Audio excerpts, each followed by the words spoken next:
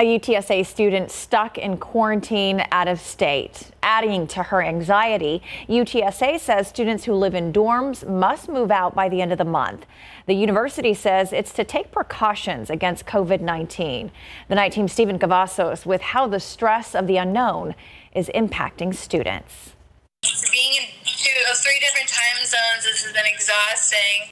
Three in just a few days. Josefina Fernandez says her spring break trip to Puerto Rico ended in a nightmare. Fernandez was helping out with disaster relief on a school trip, but when she arrived back to the States, a UTSA advisor told the group they had to self quarantine for two weeks off campus out of precaution, but there was a problem. A live on campus, and I don't, I don't know, have a place to go. Fernandez is on day six of her quarantine. She has not shown any symptoms, but for now, she's quarantined away from her mother, who she says she's not been able to hug.